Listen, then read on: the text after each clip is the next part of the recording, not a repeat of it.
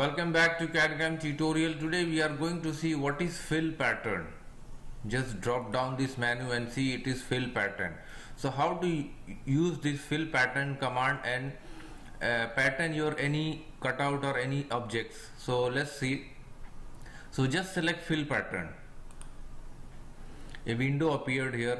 This is structure, this uh, 3D model we created in our last lecture. Now we will see what is fill pattern so here first you have to select your boundary. You have to select a boundary within a bound uh, within that you can insert your pattern. So first time we will select this whole body this surface top surface. Then there are four types of lay layouts perforation circular rectangle or like this polygon. And these are the points instance spacing then degree then the margin or gap between two patterns. Now we selected this. Now select your feature to pattern. Select your pattern. So just drag down select this cutout. See. We selected our cutout and we perforation layout we selected. Now select circular see it's changing its position. Rectangle see? Polygon rectangle. Here you can change the spacing.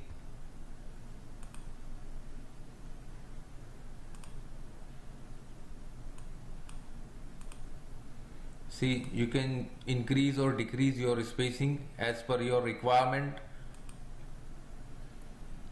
So just select this one select ok. Now see your pattern is ready. We created is we with the help of a simple tool we created our pattern. See it is very useful tool. Now just delete it right click delete.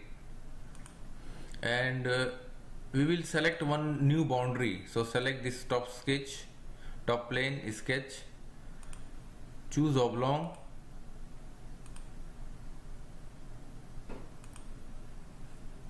okay now exit from the plane. Now we will uh, insert our pattern within this boundary. So just drag down this menu select fill pattern and choose this oblong as a boundary see? And select our pattern. Drop down this select cut extrude. Now this spacing decrease now see this our pattern coming here. You can select anything whatever suitable for you. Select ok now see our pattern is uh, sketched in within the boundary. So this is the fill pattern very useful and very handsome tool in SolidWorks. I hope you like these videos Thanks for watching.